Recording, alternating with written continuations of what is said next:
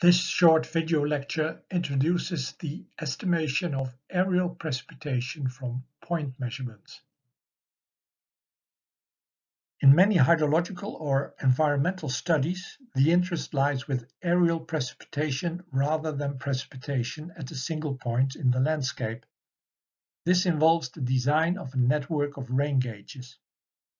If the area under study is flat, the rain gauges can be distributed evenly over the area and usually not many rain gauges are needed. For estimating the areal precipitation, the arithmetic mean precipitation depth or the use of Thiessen polygons may then suffice. Here we have an area under study for which we have three rain gauges, A, B and C, with C lying just outside of the area under study. Thiessen polygons are built up by drawing midlines, perpendicular bisectors, between the rain gauges on a map. Perpendicular bisectors of any three rain gauges meet in one point.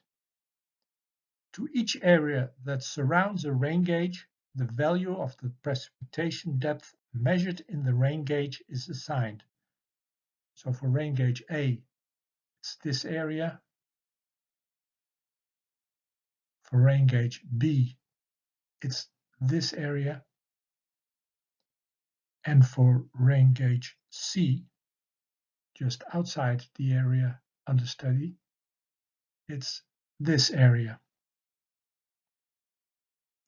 Multiplying the precipitation depth by its representative area, then summing these products for all rain gauges, and then dividing by the total area under study delivers a weighted average of the precipitation depth over the area.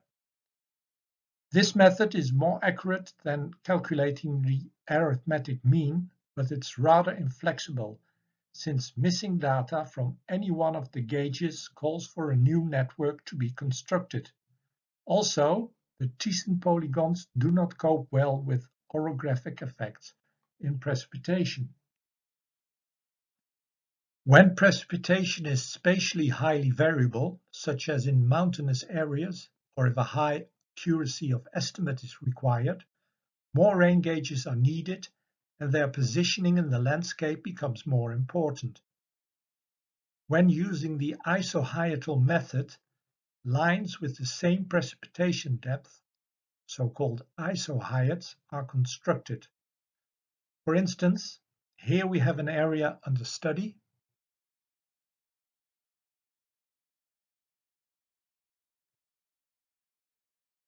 for which we want to know the areal precipitation.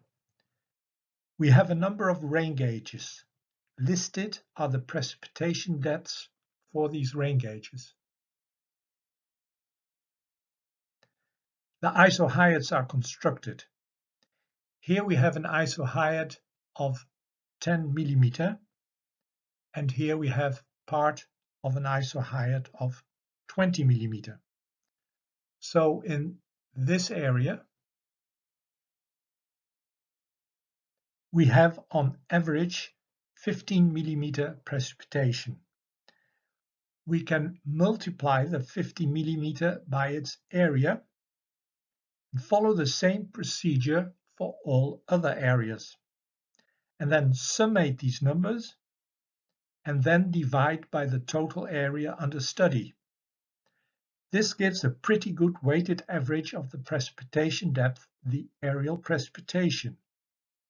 Although the drawing of isohyets is slightly arbitrary and may involve some experience, the topography and also knowledge of the storm pattern can be well accounted for when using this method. Nowadays, good use is made of radar in estimating areal precipitation depths. Radar does not directly measure precipitation. Radar is an acronym for radio detection and ranging. With radar, an empirical relation between the radar reflectivity and rainfall is used. More reflectivity indicates a larger likelihood of precipitation. Radar can produce estimates of precipitation for time intervals as small as 5 minutes and for areas ranging from 4 to 138,000 square kilometers. As an example, this figure shows daily precipitation values estimated from radar observations for an area of approximately 83,000 square kilometers, including the Netherlands. Daily precipitation values for the Netherlands on the 4th of April 2004 are shown to the left and for the 1st of May 2004 to the right. These are estimated from observations by two radar stations. The 4th of April event shows low precipitation values over a large area, whilst the 1st of May event shows high precipitation values over a small area. The latter is most likely the result of regional heating of the air at the Earth's surface, so-called convective precipitation.